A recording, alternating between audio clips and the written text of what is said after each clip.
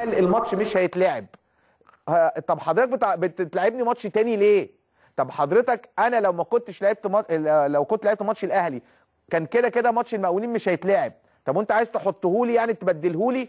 طب ما تلعب ماتش الأهلي هو كمان. لعبه في أسبوع بقى هو كمان. وبعد كده أروح ألعب generation. وبعد كده أروح ألعب إنبي في أسبوع. وبعد كده الأهلي يبقى له 700 سنة ما لعبش. يروح ما, ما, يلع... ما يلعبش يوم السبت. وبعد كده يلعب آه، مع الجونة ثم كمان يطلع النادي الأهلي يقول لك كمان والجونة يقول لك إحنا الاثنين مش هنلعب كمان. فيريح براحته هو ده مبدأ تكافؤ الفرص. أنا أنا أنا مش فاهمه لكن زي ما قلت لكم نادي الزمالك ليس طرفا في هذه القضية. الأهلي حر ينسحب يلعب ما يلعبش يتخذ قرارات ما يتخذش قرارات يطلع بيانات ما يطلعش بيانات.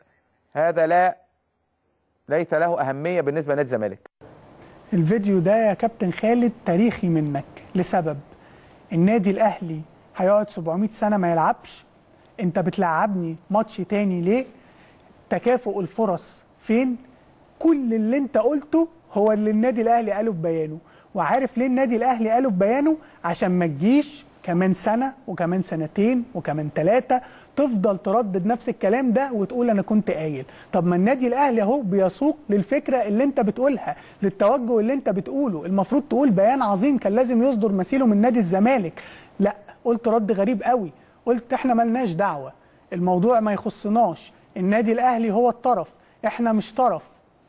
كابتن خالد أعتقد رديت على نفسك وقفلت باب كبير قوي لحاجات جاية وعارفين إن هي هنرد عليها لو أراد ربنا كمان سنة وكمان سنتين بس أنت اديتنا الرد بدري قوي يا كابتن خالد. بص دي أحد أهم لحظات الصراحة اللي بيكون فيها الكابتن خالد الغندور وهو بيتكلم الأفكار خارجه عن سيطرة الأفكار والمعتقدات اللي هو عايش عليها دايما في فكر نظرية ال- ال- المجاملات والمؤامرة والتحكيم. ومش رابط الأمور ببعضها. آه ما أنا بقول لك دي من اللحظات اللي هي يعني عارف أنت اللي هم زي بيسموها كده. فكرة آه لا لا لا لا صح لحظة ال- الحلم. الحلم دايما بيجي لما بيكون العقل الباطن هو اللي مسيطر وال والعقل الظاهر خلاص فقد السيطرة على العقل الباطن فيطلع حلم. الكابتن خالد غندور بالظبط حصل له اللحظة دي في وقت من على الهوا إن هو فقد السيطرة على ما يقوله. فقال اللي النادي الأهلي قاله في بيان النادي تضامن الاهلي مع النادي الأهلي آه دون تضامن يشعر. بالظبط كده. هو ده اللي حصل بالظبط.